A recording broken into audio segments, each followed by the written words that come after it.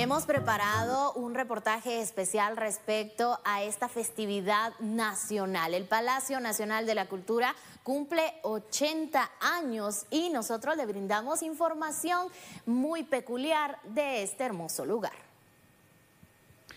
Inaugurado el 10 de noviembre de 1943, el Palacio Nacional de Guatemala se ha convertido en el ícono central de nuestro territorio. Esta majestuosa edificación, la primera antisísmica construida en suelo nacional, ocupa el ala norte de la Plaza de la Constitución y junto a la Catedral Primada de Santiago de Guatemala y el Portal del Comercio, conjugan el principal punto de convergencia del país. En su interior se ubica el kilómetro cero, del que parten todas las carreteras hacia los cuatro puntos cardinales. En 1932, durante el gobierno del general Jorge Ubico Castañeda, se publican las bases para el diseño y construcción del Palacio Nacional. Y el 4 de julio de 1937 se colocó la primera piedra de la edificación.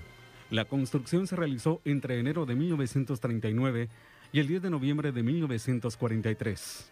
El edificio está diseñado simétricamente a partir de un cuerpo central, del cual se desprenden dos cuerpos laterales, cada uno de estos con tres niveles y un patio central. Aunque su interior es el más admirado, también son destacadas áreas secundarias como los sótanos y las terrazas, pues en su conjunto el edificio es de cinco niveles, aunque alcanza la altura de uno de nueve con sus 30 metros de altura.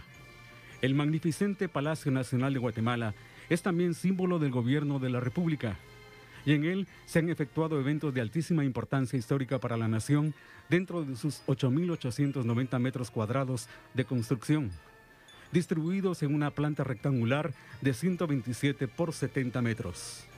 El edificio está diseñado simétricamente a partir de un cuerpo central, del cual se desprenden dos cuerpos laterales, cada uno con estos tres niveles y un patio central.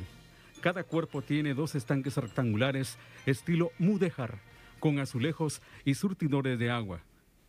El conjunto incluye un sótano y una terraza en el cuarto nivel. En las esquinas presenta cuatro torres y al centro, en la fachada norte y sur, tiene dos frontones.